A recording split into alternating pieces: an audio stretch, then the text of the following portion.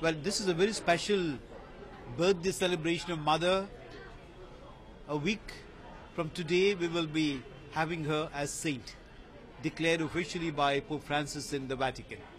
So, this special birthday before the canonization is a very special privilege for us to remember her, carry with us her message of love, as Sister Liza so beautifully pointed out in her message, and as she always believed, to work for life, to save life, to protect life, to nurture life at all stages, from womb to tomb, as Mother would say.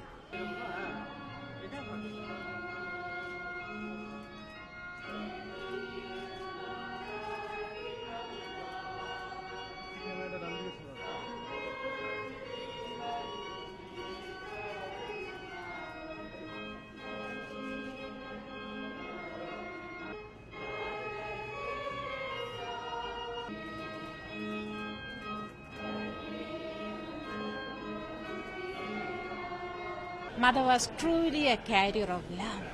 She carried love to everyone the poor, the, the sick, the dying, the rich, the dignitaries, the king, the queen, everyone. She gave love. And her message is that wherever we are, we create that love. We give that love that to you to each one whoever come to us.